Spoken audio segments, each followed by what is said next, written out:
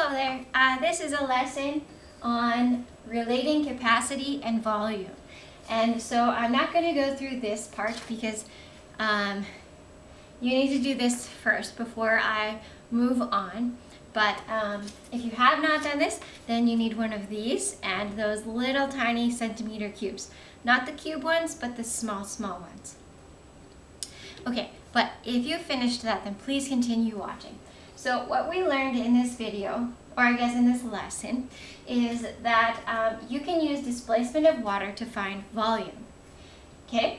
Because we know that one centimeter cubed, so those little cubes, is equal to one milliliter. So if I find that um, an object is two milliliters, then it's going to be two centimeters cubed. Okay? So I'm going to practice using the steps. Um, so the first step is mark the water level on the graduated cylinder. This is a graduated cylinder. This is a measuring cup. It's not as accurate. So use a graduated cylinder. So I'm going to pour, let's say 300 milliliters into my graduated cylinder. Now when you're pouring it, you want to be exact so that you know. You want to get down to the eye level with it. Oh, I poured too much in there. And I want to get exactly 300 so that I have easy calculations.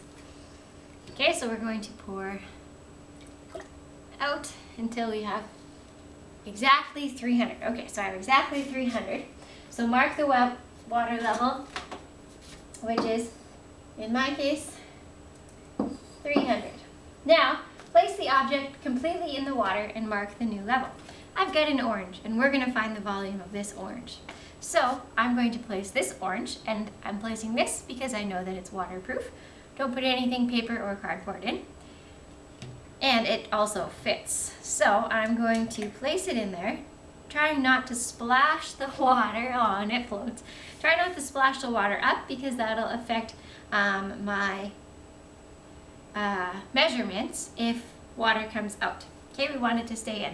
Now this orange floats a little bit. Um, and it says completely in the water. So that means that I can take my pencil or my whiteboard marker and I can if you can see, I can put it just, just below so that it's just in and my marker is barely in. I don't want the marker in, but I know it has to go in just a little bit. I'm gonna use a pen because it has a smaller area. Okay, so what I do is I poke it in there and then um, I need to find the new water level. So the new water level is uh, one, two, three, four, five. Okay, so each of those ticks is 10. Uh, my new water level is 390. So this was so 390 milliliters. Now, I need to subtract the original water level from the new water level. So the little number from the big number. So I'll go 390 minus 300. And you probably didn't have to write this one on top of the other, but I get 90.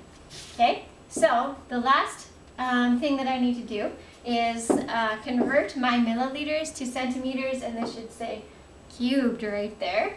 Um, and so basically, that's really easy in this case. You just take that ml, pull it off, and put cm3 in the front. So that means that my orange is 90 centimeters cubed. And that's how to do it, okay? So you're going to actually be using graduated cylinders and finding objects to put into the graduated cylinder to find the volume. Okay, and then I'll dry it off. I'm not just gonna leave it. All right.